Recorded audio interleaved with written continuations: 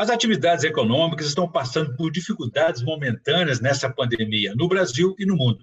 A chance de sobrevida para empresas ameaçadas? Como tem sido o tratamento judicial de modo a dar a garantir segurança jurídica nesses casos? Esses são os principais temas de hoje do Pensamento Jurídico, uma produção da Associação dos Magistrados Mineiros, a AMAGES, em mais uma edição especial e remota por conta da quarentena.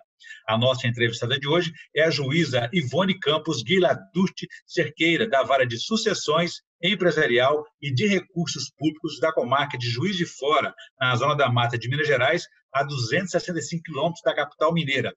Ela é magistrada há 26 anos e já passou por seis comarcas: Ubá, Frutal, Extrema, Mar de Espanha, Guarani e Juiz de Fora, onde está há 16 anos. Doutor Ivone, obrigado por nos atender nessas condições remotas. Obrigada, Orion. Obrigada né, ao programa Pensamento Jurídico nessa edição especial. É um grande prazer estar aqui né, e debater esse tema tão importante, tão atual e de extrema é, relevância para o mundo empresarial e econômico do Brasil.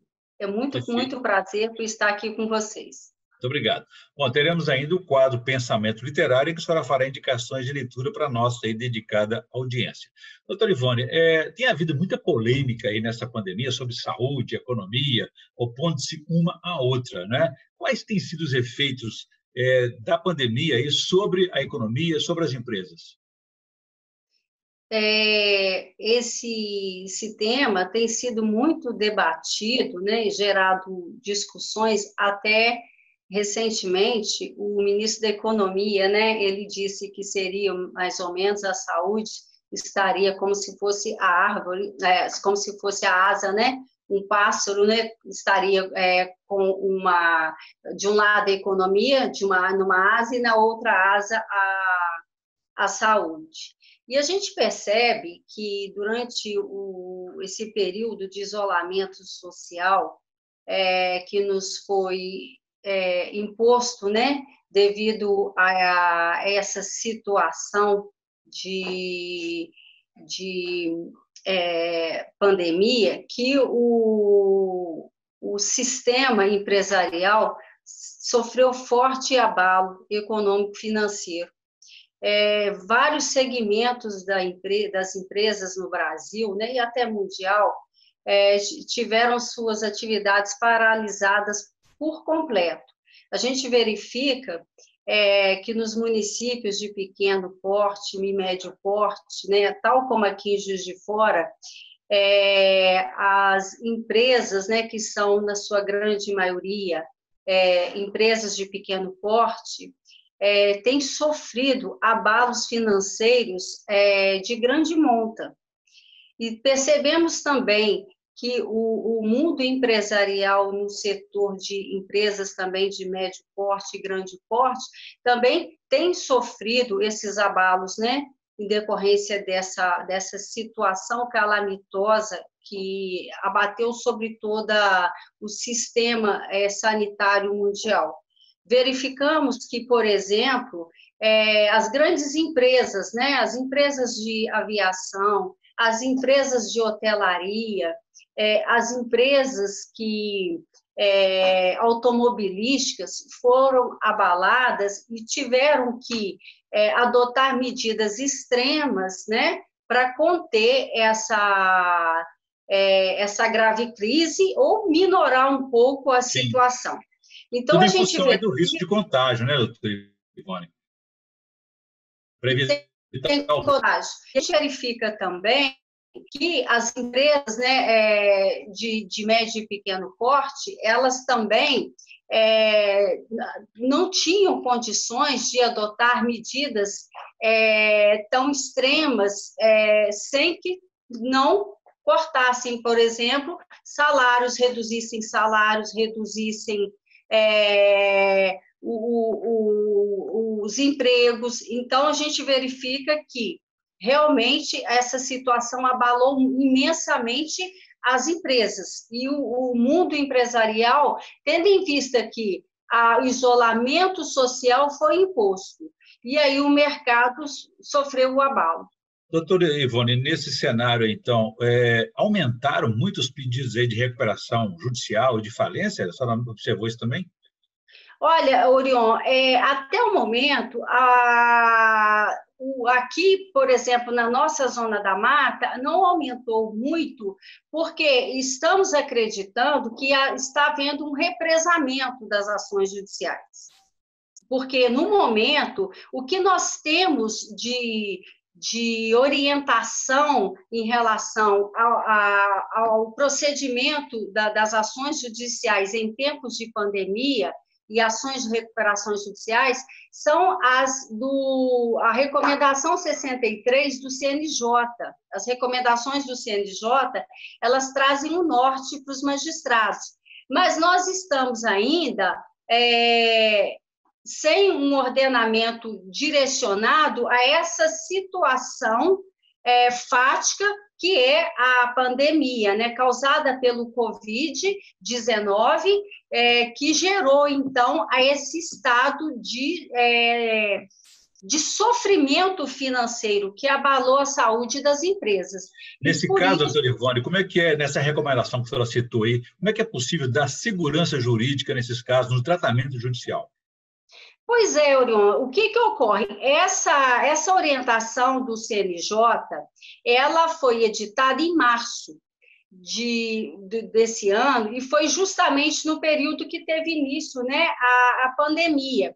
E o CNJ, ele orientou os magistrados, veja bem, é uma orientação, não é, não se trata de um comando legislativo. Então, o magistrado, ele poderá seguir ou não, mas é um conforto saber que o CNJ, nesse momento de crise extrema, tem se, tenha se preocupado em é, traçar algumas orientações para os juízes das varas empresariais seguirem. E o, o, CNJ, ele é, orienta o primeiro ponto, que o, o juiz, ele é, analise com certa urgência os pedidos né, de levantamento de valores feitos por credores ou por empresas em recuperação judicial. Isso justamente para tirar as empresas, para dar uma condição das empresas de é, conseguirem administrar nesse período de crise. O CNJ analisa, então, essa questão, pedindo aos, orientando os magistrados que faça a, a análise né, e, e, e, decida o pedido com certa urgência. Perfeito. O CNJ também, em relação à recuperação judicial, ele orienta que as, que as assembleias gerais sejam realizadas é, a, de forma virtual, na medida que demandar necessidade de, de que seja feita dessa forma, Perfeito. se houver urgência de realizar e que suspenda as assembleias presenciais. Tá? Okay, é outra orientação do CNJ. Perfeito. Nós vamos fazer um pequeno intervalo. Eu gostaria que no próximo bloco só falar sobre outras medidas, outras recomendações do Conselho Nacional de Justiça e como que as empresas também podem buscar essa sobrevida. A gente volta então em instantes. Thank you.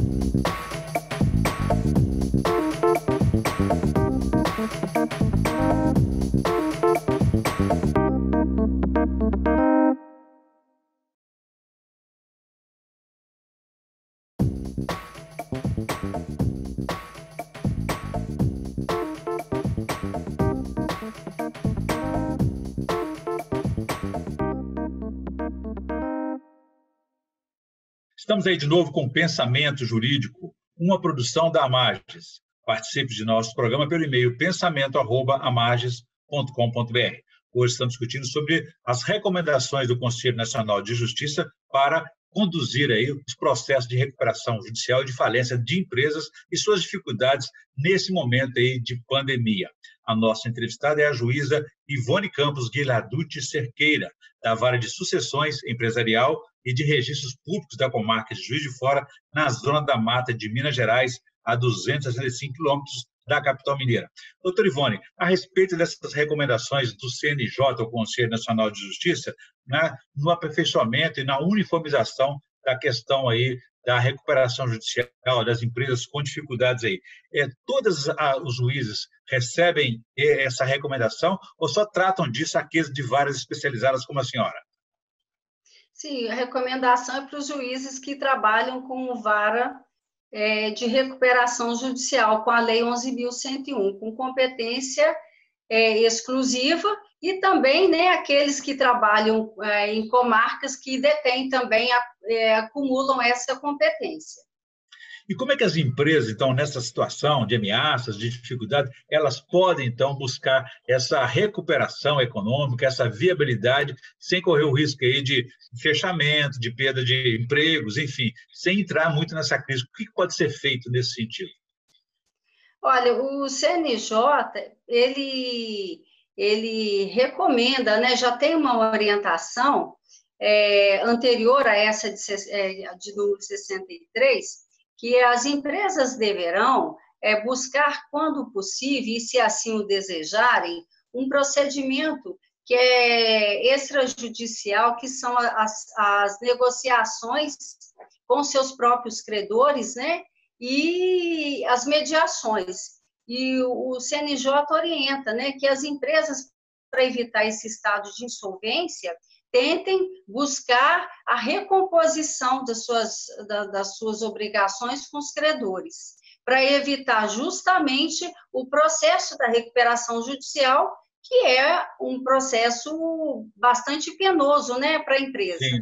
Quer dizer que essas decisões precisam ser referendadas por uma assembleia de credores e, como a senhora disse, tem que ser virtual daqui para frente. Né? Quais são as prioridades desses pagamentos? Olha, veja bem, essas assembleias, elas extrajudiciais, é, os credores não são obrigados a participarem, é facultativo, né?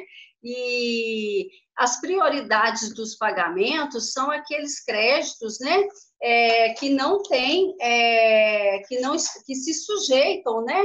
À composição com os credores e não têm é, necessidade de submeter a um processo de é, que haja uma, uma questão mais complicada, como é, com garantias especiais. Uhum. E as prioridades desses pagamentos, quais são?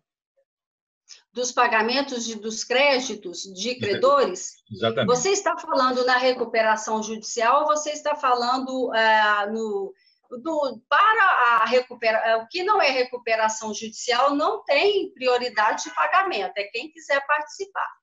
Se houver recuperação judicial, aí vai entrar num processo de credores, né, no, no, no grupo de credores, e aí será feito o pagamento de acordo com a Assembleia Geral. Perfeito. Agora, é, como é que fica a apresentação no caso de recuperação aí, o plano de recuperação nesse período de instabilidade? Porque a gente às vezes vê que algum local abre a economia, fecha a economia, depois volta a abrir, enfim, há muita indefinição até durante a pandemia? Como é que esse plano pode ser alterado, né? Olha, é, esse, nesse momento de pandemia, o que está ocorrendo é que as empresas, né, eu já havia dito, elas estão é, em compasso de espera, não estão ingressando com recuperação judicial, porque no momento é, esse processo é um processo complexo, exige é, que as empresas tenham é, atendam certos requisitos e então elas não ingressam. Mas no momento, nesse momento de pandemia, o que está acontecendo, o que pode acontecer é que o próprio CNJ prevê a suspensão do prazo de para que as empresas é, não cumpram suas obrigações. Então, nesse processo, nesse período de pandemia, o CNJ orienta os juízes a suspender o prazo de cumprimento dessas obrigações. Como é que o judiciário é acionado nesse momento que eles também estão de quarentena, trabalhando de forma remota? Não, nós estamos trabalhando, né, de, trabalhando de forma virtual, estamos recebendo as ações normalmente pelo sistema de PJE e não está tendo prejuízo para o jurisdicionado desse sentido. Perfeito. Então, é, está havendo continuidade desse trabalho e dando também transparência a esse processo, né? Com certeza, nós estamos trabalhando de forma remota e é, a, seguindo né, as orientações dos tribunais, do CNJ e fazendo o nosso trabalho de forma transparente dentro, e dentro da maior celeridade possível. Perfeito. Doutor Ivone, eu vou fazer um novo intervalo. Gostaria que no próximo bloco a gente avaliasse as possibilidades de alterações, o que seria preciso alterar na legislação a respeito desse processo envolvendo as empresas. A gente volta em instantes.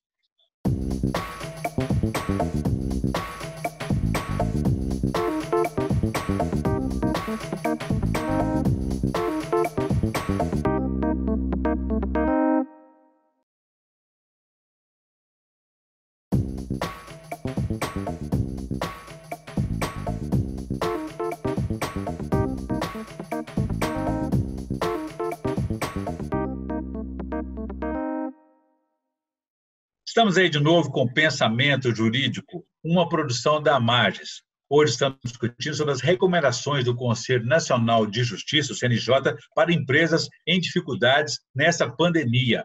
A nossa entrevistada é a juíza Ivone Campos Guilherdude Cerqueira, da comarca de Juiz de Fora, da Vara de Sucessões Empresarial e de Recursos Públicos. Doutora Ivone, então uma questão que gostaria de esclarecer sobre essa recomendação, que outras medidas o CNJ orientou a respeito dos prazos, a suspensão de prazos em relação a essa, essas dificuldades das empresas?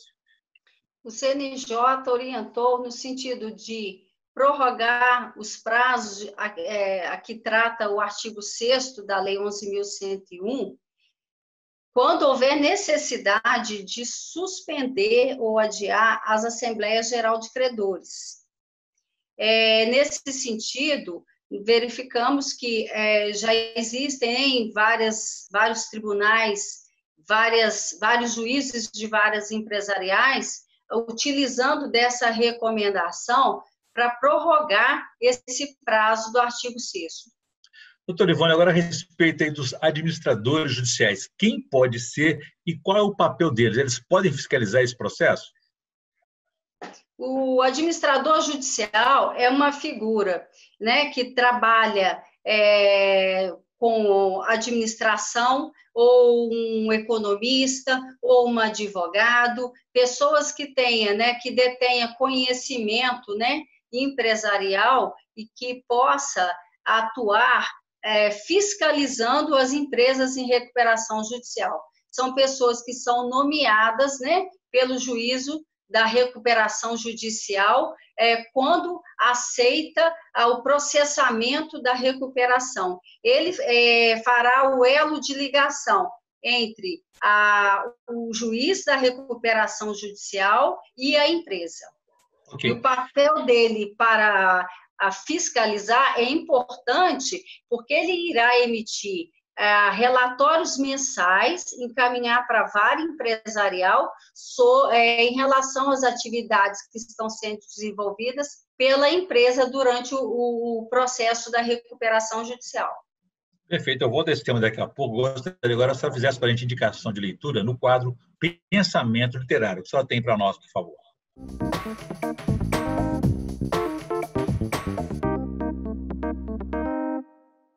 Olha, eu indico Dom Pedro II, a história contada, né? O último imperador do Novo Mundo, revelado por cartas e documentos inéditos do Paulo Riassuti. Muito bem, boa indicação para essa quarentena aí, né? Doutor Ivone, para a gente concluir aí a nossa é, nossa, nossa, nosso debate aqui, a respeito aí dos, falou de suspensão dos prazos de execução de ações judiciais, a respeito de medidas como despejo também, é, como é que está sendo conduzida essa situação aí é, nesse momento?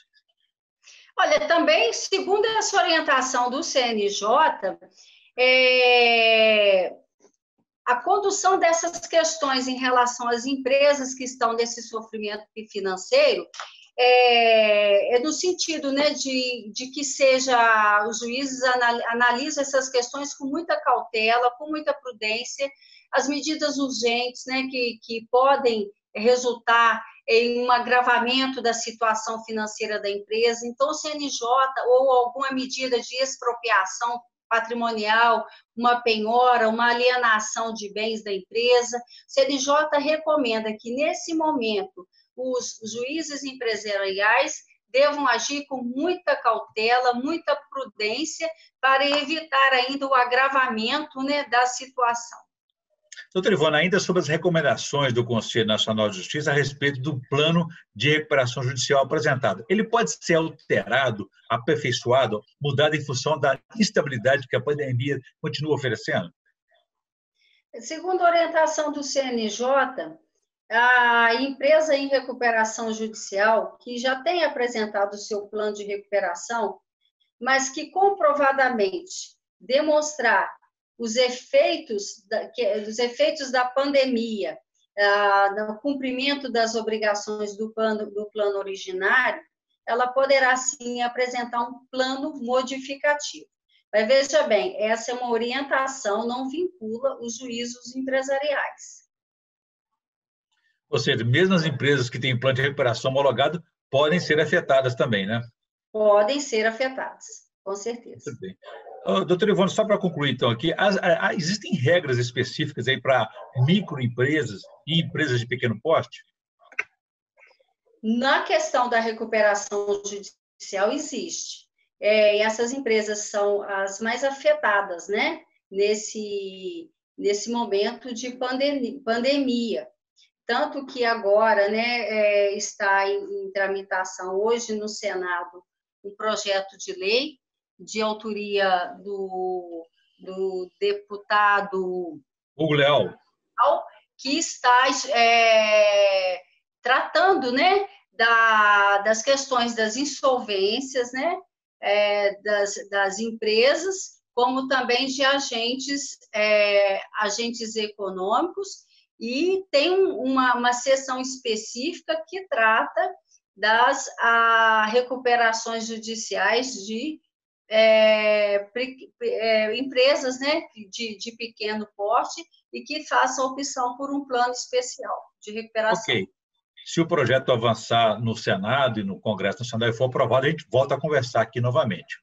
Doutor Ivone, obrigado pela entrevista. Eu conversei aqui com a juíza Ivone Campos Guilherducci Cerqueira, da comarca de Juiz de Fora, da Vara de Sucessões Empresariais de Registros Públicos, e discutimos aí sobre as recomendações do Conselho Nacional de Justiça, as novas recomendações para conduzir aí o processo envolvendo empresas com dificuldades momentâneas nessa pandemia aí e evitar aí a insolvência, falência e outros riscos. Doutor Ivone, obrigado pela entrevista. Foi um prazer recebê-la aqui no Pensamento Jurídico.